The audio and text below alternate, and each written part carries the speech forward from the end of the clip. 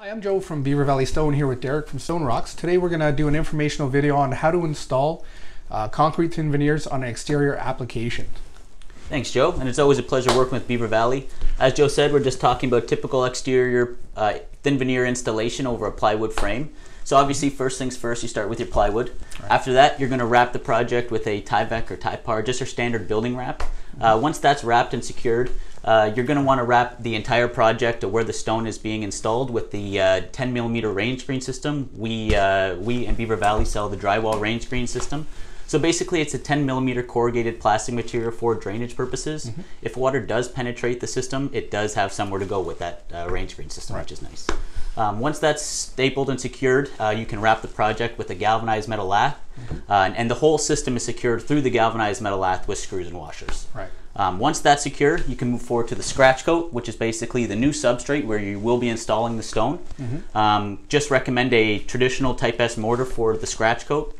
Uh, once the scratch coat is 90 95% in, uh, dry, right. uh, back butt of the stone with a pre modified mortar. That's just basically a traditional mortar with a polymer additive. It's going to mm-hmm. be a little bit stickier, so it's going to grab to the project a lot quicker, so you're not having to sit there and hold it. Right.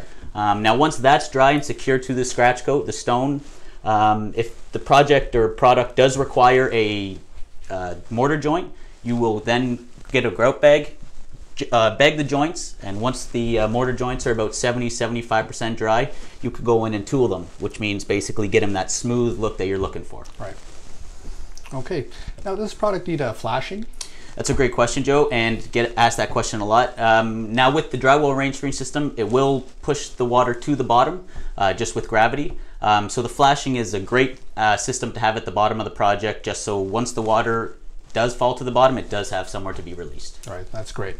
And can you install your product on uh, interior application as well? Absolutely. So that's another big benefit of having a lightweight product. The mm -hmm. product is about eight to ten pounds per square foot, so you can go both interior and exterior, which is right. great. It's versatility. Um, interior wise, if you're installing it around a heat source, such right. as a fireplace, whether it's gas, fire, um, even electric if, if it's going to emit heat. Right. Um, I always recommend a concrete board with a uh, with a uh, pre-modified mortar on it as well, so that it sticks a lot quicker. Mm-hmm. Now, if it is just a feature wall, you can get away with uh, plywood with a construction adhesive, such right. as a PL Premium, no problem at all. Right. Well, that's great. Um, one thing I get asked a lot: uh, Can you install this product on drywall?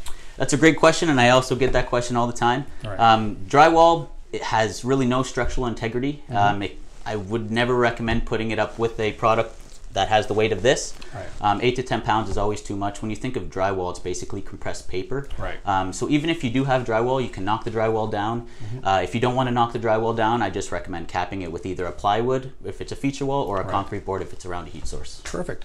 Well, that's great. Thank you very much, Derek. Thank you very much, Joe. Always a pleasure. And remember, everybody, we carry the full line of StoneRox products the mortar, the grid, and the rain screen as well. So come on in, and we'll be happy to serve you.